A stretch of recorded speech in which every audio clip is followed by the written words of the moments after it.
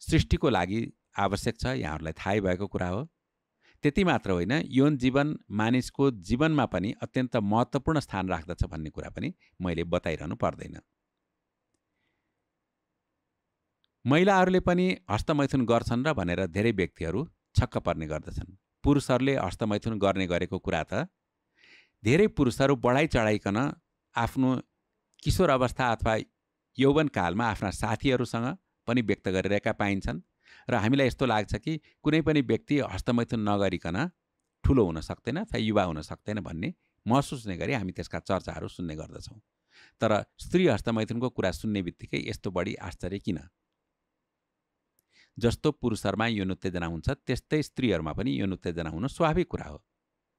सृष्टिमा स्त्री र पुरुष दुवै नमिलिकन यौन सम्पर्क हुन सक्दैन र दुवैमा त्यसको लागि उत्तिकै चाहना हुनु आवश्यक हुन्छ।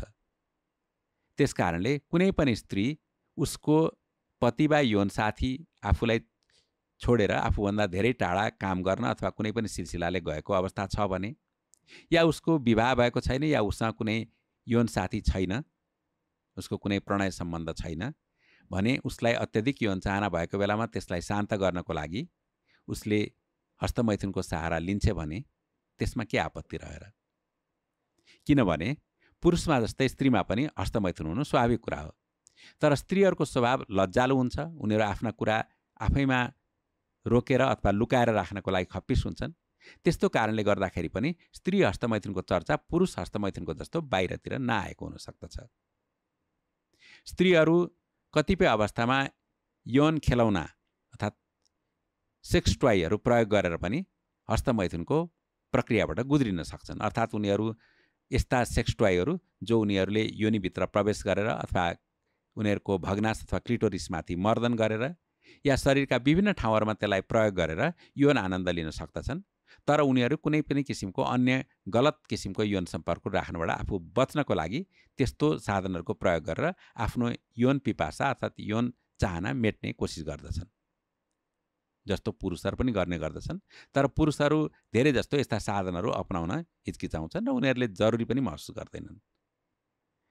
अन्य अवस्थामा स्त्रीहरूले आफ्नो औँला आफ्नो योनि मार्गभित्र पसाएर आफ्नो औँलाले भग्नासलाई चलाएर या विभिन्न अन्य तरिकाहरूबाट पनि आफ्नो हस्तमैथुनको प्रक्रियालाई सुचारू गर्न सक्दछन् यसरी उनीहरूले हस्तमैथुन गर्ने गरेको सुन्दैमा हामीले त्यसैले अचम्म मार्नुपर्ने अवस्था छैन र उनीहरूले हस्तमैथुन गरे भन्दैमा उनीहरू कस्तो छाडा भएको अथवा उनीहरू त अत्याधिक रूपमा कामुक लत बसेका पो रहेछन् कि भनेर सोच्नु पनि हुँदैन।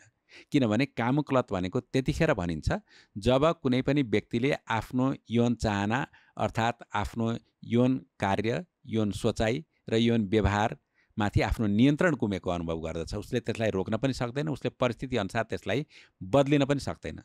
तर कुनै स्त्रीले आफ्नो यौन चाहनामा आफ्नो सुरक्षा हेरेर समय गोप्यता हेरेर र त्यसबाट आफूलाई हानि नहुने निर्कुल गरेर कुनै व्यवहार गर्छ र उसले नचाहेको बेलामा अथवा उसलाई अनुकूल नभएको जस्तो लागेको बेलामा त्यस्तो बेलामा त्यसलाई गर्दिन त्यो उसको चाहनाभित्र परेको छ भने स्त्रीले हस्तमैथुन गर्नु अचम्मको कुरा होइन। बरु हामीले के सोच्नु उपयुक्त हुन्छ भनेदेखि पुरुष र स्त्री एउटै भएको कारणले गर्दाखेरि एउटै किसिमको यौना यौन उत्तेजनाबाट गुज्रिनु परेको कारणले गर्दाखेरि उनीहरूले आफ्नो यौन उत्तेजना शान्त गर्नको लागि हस्तमैथुन गरेको हो भनेर यसलाई सामान्य कुराको रूपमा लिनु उपयुक्त हुन्छ। यो प्रश्नको उत्तर आज गाईघाटबाट उन्चालिस वर्ष रेखा हमालले गर्नुभएको जिज्ञासाको प्रत्युत्तरमा मैले दिएको हुँ